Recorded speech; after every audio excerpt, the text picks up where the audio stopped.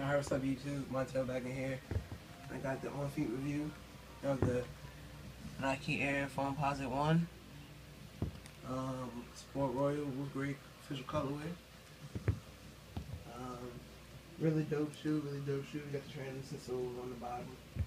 Translucent blue sole, kind of like the Air Jordan 11 lows, or even the Concord 11s.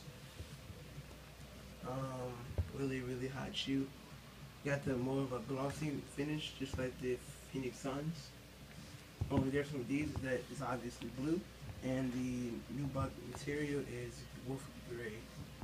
You got your your blue runner going up the tongue, and your Nike swoosh, which is Sport Royal and wolf gray outline. Um, that's about it. That's the entire shoe here. Make sure you leave a comment below. Let me know if you cop these shoes or if you really like these shoes. Leave a like rating if you enjoy what I'm doing. And I will be sure to have more videos for you guys. My name is Montel. This is Too Much Swag I'm signing out. Peace.